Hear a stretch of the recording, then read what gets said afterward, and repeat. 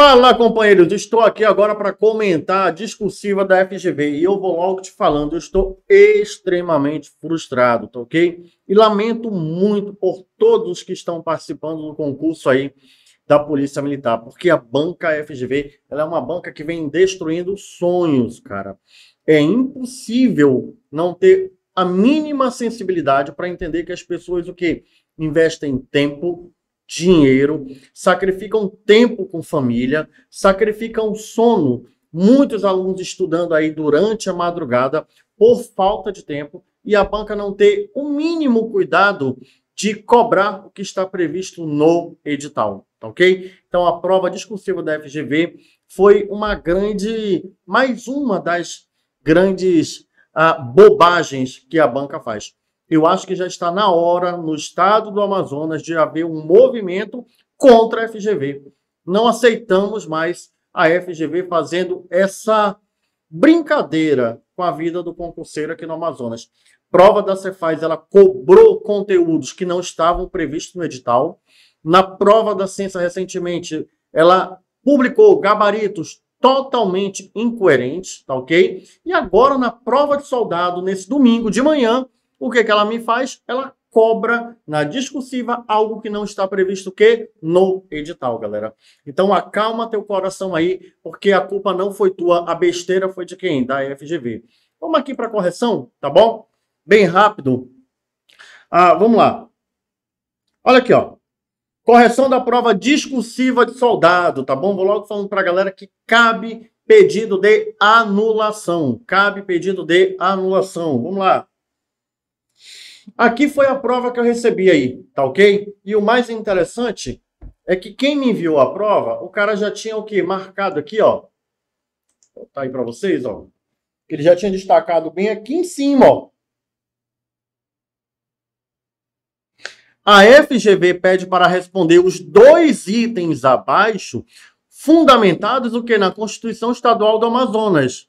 Epa, pera lá. Adriano, o que, que estava previsto para a prova de soldado? Cara, na prova de soldado, a legislação prevista era basicamente três, filho.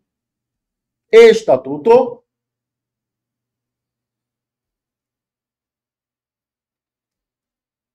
a lei 1154, né? O que mais? A lei de organização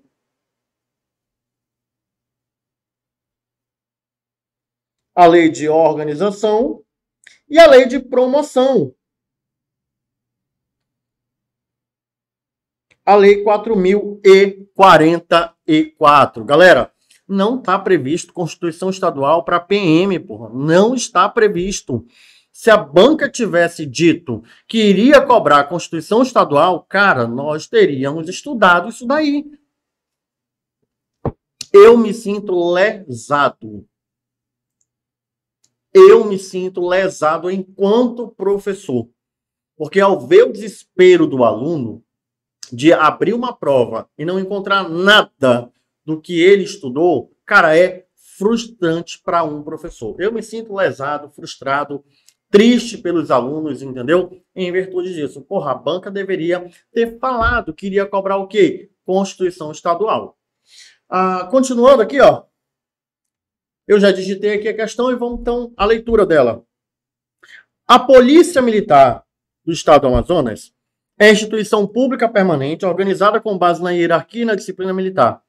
Em matéria de regime jurídico do Estado do Amazonas, responda às proposições abaixo. Então, olha aqui, ó, responda às proposições abaixo de forma objetivamente fundamentada. Adriano, o que, é que ela quer falar com isso daqui?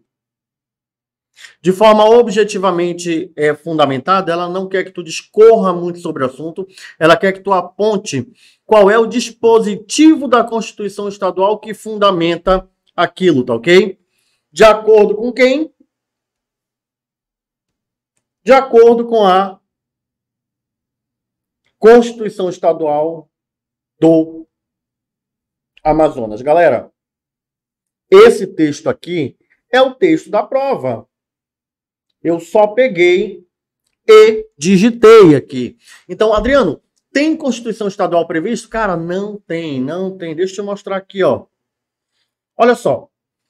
O edital, o edital número 1 de 2021, que é o edital de abertura do concurso público, ele coloca lá para o cargo de nível médio soldado da Polícia Militar o seguinte, ó. Ele fala que a legislação institucional é composta de quem? Da lei 1154, que trata do estatuto. Da lei 3.514, que trata do quê? Da organização da polícia. E da lei 4.044, que trata do quê? Da promoção de praças. Então, eu vou vir aqui em cima primeiro, olha, e aí tu vai poder tirar uma foto. Quem é o estatuto? Lei 1154. Quem é a organização? Lei 3.514. Quem é a promoção? Lei 4.044. Então, aqui, olha, Lei 1154. Aqui é a Lei 3.514. E aqui é a Lei 4.044. Cara, não tem Constituição Estadual. Tá, Adriano? Isso daí é o que está previsto no edital de abertura. E no edital de convocação, galera, olha só, na página 61 do edital de abertura. Grava essa informação aí, tá ok? Legislação institucional. Bora para o edital de convocação para a prova discursiva. No edital de convocação, é o edital número 2, de 1 de abril de 2022. Olha o que, que ele pede lá no item 1.4.3 do edital de convocação, logo na página 1 para os cargos de aluno soldado,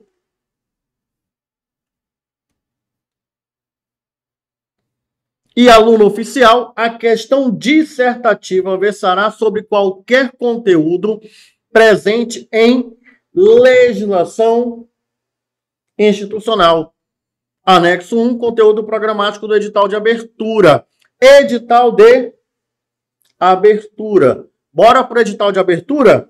Tá aí o edital de abertura, é o 01 de 2021. Olha o que, é que eu tenho em legislação institucional. A Lei 1154 de 75, a 3.514 de a 2010 e a 4.044, que é a Lei de Promoção de Praças. Cara, a FGV cobrou Constituição, Constituição Estadual não estando previsto o que? No edital. Não estava prevista no edital. Adriano, o que aconteceu? Simples. A banca simplesmente pode ter formulado a prova de PM junto com a prova de bombeiro, cara. E lá para a prova de bombeiro, a Constituição Estadual estava prevista. E quem fez prova de bombeiro viu, nós estudamos a Constituição Estadual.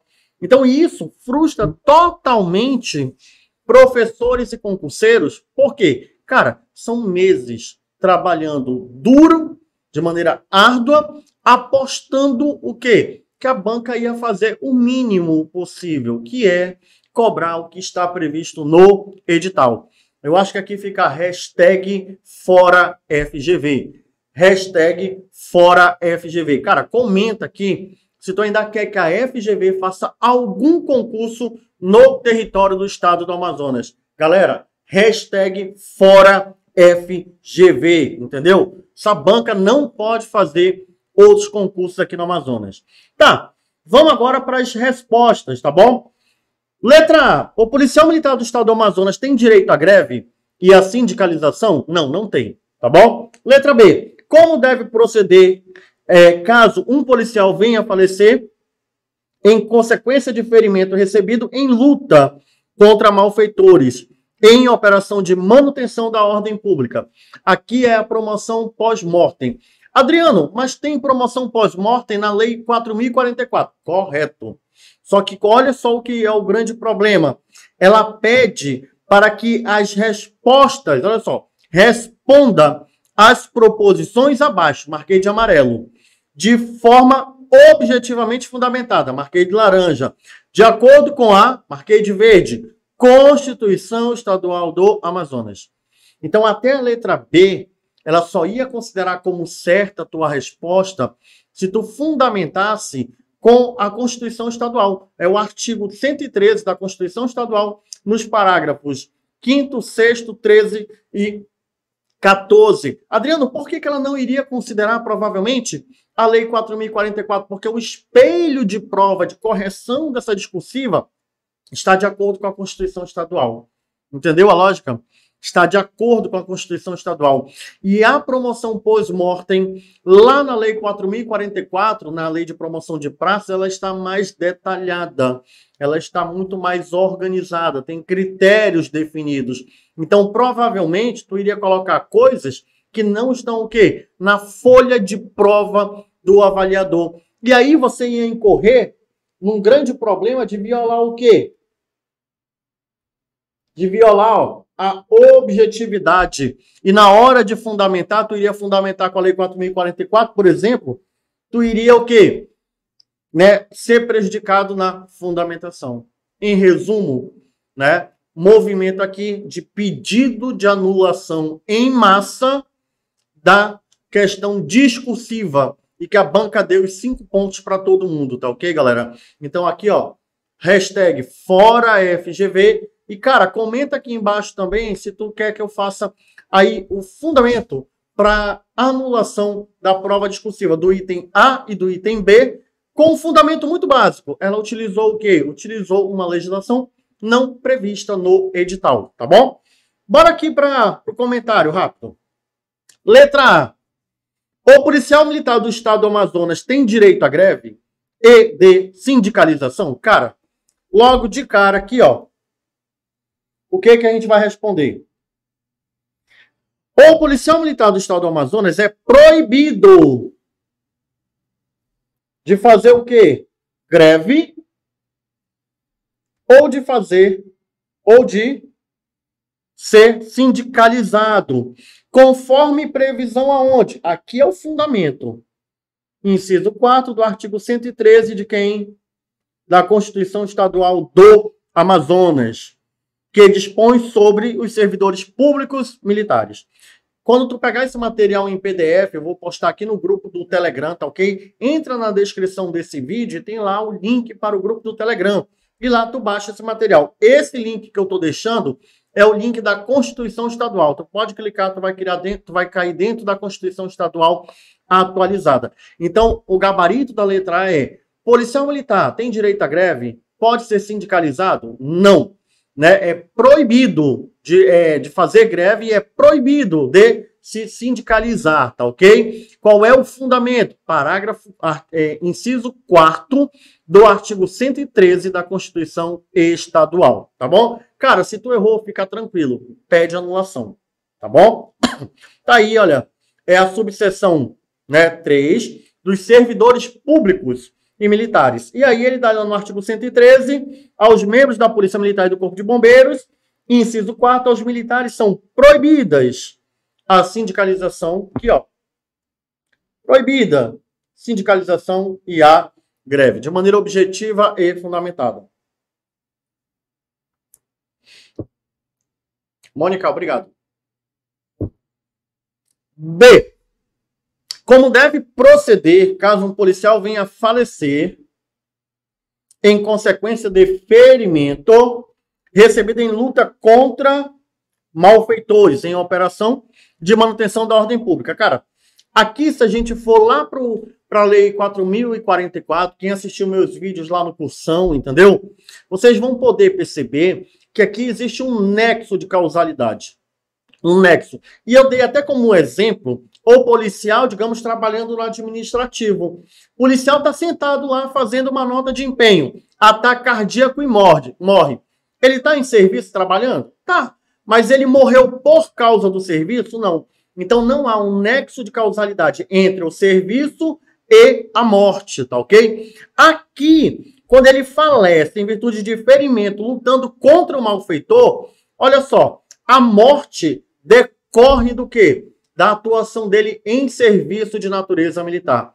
Então, se o ferimento foi causado porque ele estava em serviço e por isso ele morreu, promoção pós-mortem. Só que a Lei 4.044 traz critérios muito mais bem detalhados e definidos. O que, que a Constituição fala? Fala o seguinte: o Estado do Amazonas promoverá pós-mortem.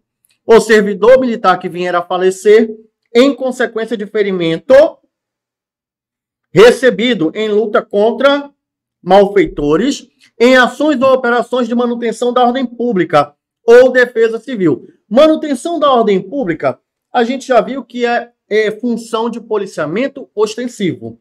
Defesa civil, nós já vimos que é função de quem? De bombeiro militar. Em acidentes em serviço. Então, olha só, o ferimento, ele tem um nexo de causalidade com quem? Com o serviço. Bem como por moléstia ou doença decorrente de fato, ainda que o militar declarado extraviado, nos termos da lei, em todos os casos, prescindido de processo administrativo, a ser instaurado, instruído e julgado pela respectiva corporação, conforme o que previsto, aqui a previsão constitucional,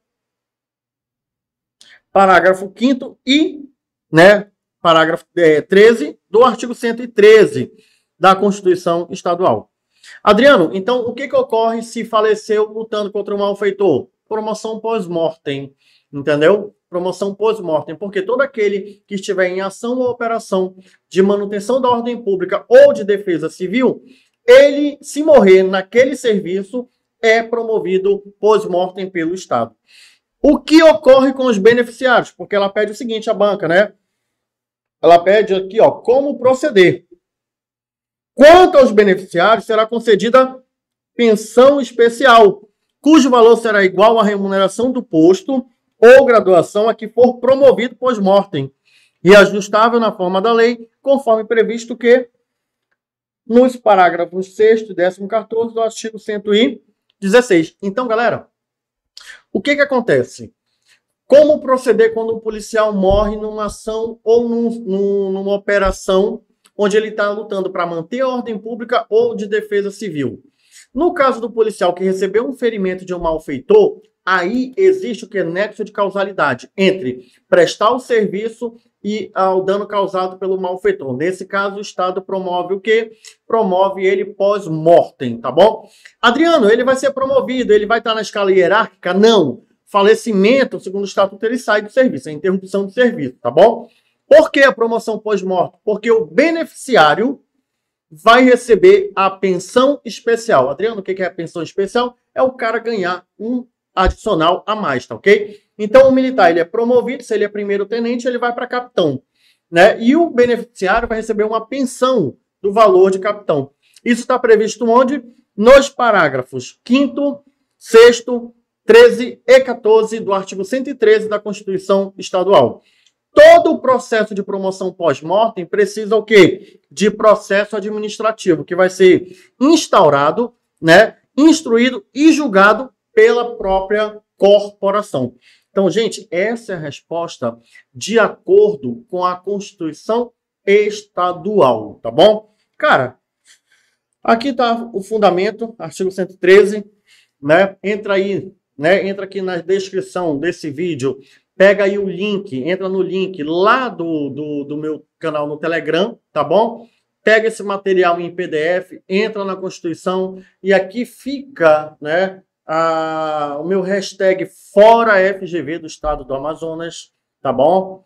E também aqui, olha, uma hashtag anulação, pedido de anulação em massa da discursiva da FGV. Que fique agora só a redação né, ali para ela poder pontuar, mas que ela deu cinco pontos para todo mundo nessa discursiva, tá bom? Cara, se tu concorda comigo, comenta aqui embaixo, tá legal? Te aconselho logo a pegar o edital número 1, um, o edital de convocação, já dá uma olhada lá na, na legislação institucional, o que consta e o que não consta, e vamos para cima com tudo dessa banca. Tá bom, galera? Esse é o meu comentário aqui de hoje. Lamento muito, eu estou extremamente frustrado com a banca FGV. Trabalhamos durante muito tempo, de maneira muito dura, de maneira muito árdua. Eu esperava que hoje à tarde, assim, porra, chovesse milhões de mensagens de alegria de pessoas que estavam com a vida praticamente mudada e a banca FGV enviada do capiroto faz isso, tá bom? Um abraço, tamo junto, continuamos na guerra. Fui.